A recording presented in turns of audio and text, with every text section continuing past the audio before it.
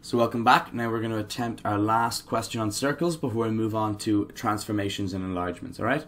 So we have this big triangle here, x, y, z. There's also a circle inside it that just about touches um, each of the sides, so x, z, x, y, and x, z. So it touches the points at a, b, and c. So that makes these lines tangents to the circle, okay?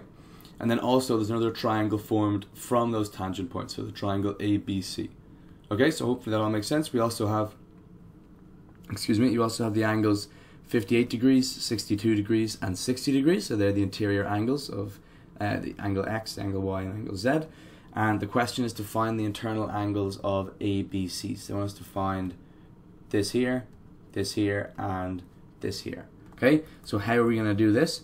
Um, one of the main tricks is going to be, say, let's just say from the last video. So if you watched the last video, then hopefully you remember um, the trick about the tangent to circles. So tangent to circles. Um, that two tangents to a circle, if they're from the same point, are going to be the same distance. So if you haven't watched the last video, we'd recommend watching it because it'll make a lot more sense. So two tangents from the same point to a circle, they're always the same distance. So for example, if we take this point x, okay, and we look at these two yellow lines, the two sides of the triangle as tangents, Okay, if there's a tangent from x that hits the circle at two points, we know that xa is going to be equal to xb. Okay, that's from the last rule, so I'm just going to say that. xa is equal to xb. We learned that in the last video, so that means we're going to put one line in there and one line in there. And what we can do is we can actually do this for every single other um, yeah, like line in the triangle. So we can go from y, we can go the two lines here, ya and yc, they're also the same length. So they might not be the same length as this one. So I'm going to put two two lines in, um, but we know that YA is going to be equal to YC. And then finally we can do the exact same for this one here. So this is the kind of trick that makes this question um, doable, that you have to know that this line is always going to be the same as this line. And then it makes the rest of the question a lot easier. And again, if you're not totally sure why that is, uh, check out the last video. And if you're still not sure, then just drop a question down in the comments and we'll try and answer as best we can. Okay, so we now we have three different isosceles triangles, and we know that isosceles triangles, um, we know that the two base angles have to be the same, yeah? So that means it's a lot easier to calculate these base angles here now that we know that they're isosceles triangles, okay? So we can calculate these base angles, those two angles, those angles, and those angles, and then eventually we'll be able to calculate the internal angles in uh, this triangle here. Okay, so I'm going to start with the top two um, base angles. So I'm just going to scroll down a little bit. Okay, so we know that uh, I'm just going to call this one, what do I call it? I'm going to call it D, okay? So this is the angle D, and this is also the angle D. We know it's going to be the same distance. Yeah, it's, it's going to be the same angle because it's an isosceles triangle. So we have 58 plus 2D is equal to 180. So that means that 2D is equal to 122. 122. So that means D is equal to 61 degrees. Perfect, okay? Um, so that means we know that this is going to be 61 degrees. I'm not going to scribble that in. The next one we're going to do is we're going to do, I'll go white, and we're going to do this angle and this angle, and I'm going to call this one E and this one E as well.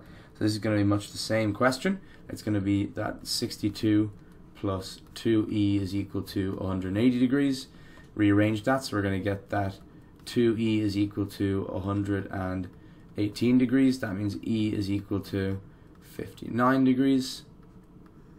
Put a box around that. Uh, and if we do the same for this one here, since we know that that is, I'll go red, since we know that this is 60 degrees, we know, and we know these are both going to be the same, that means that this is also going to be 60 and this is also going to be 60 degrees. Does that make sense? So this is actually an equilateral triangle, so they're all going to be 60 degrees. So now that we have all of these angles, we should be able to get the inside angles. So I'll look at this one here, so the inside angle A. So we know that this plus this plus this, so I'm going to say, I'm going to call this A. Okay, so the inside angle A, this is the inside angle C, and this is the inside angle B. So we know that A plus D plus E is going to be equal to 180. So I'm just going to scroll down to do it. So I can't really have it all in the screen at the same time. So we're going to have that A plus D plus E is equal to 180 degrees. So that means that A is equal to 180 minus d minus e, and that means, so I'll scroll down,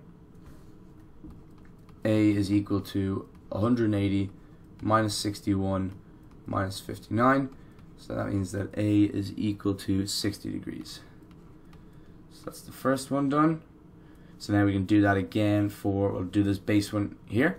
So we're going to say that E plus C plus 60 is equal to 180. So we know that this is E, we know that this is C, this is what we're looking for. So this C here, we know that this is 60 degrees. So this is all at the bottom. Um, so that means that C is equal to 180 minus 60 minus E, which is 59. So that means that C is going to be 61 degrees.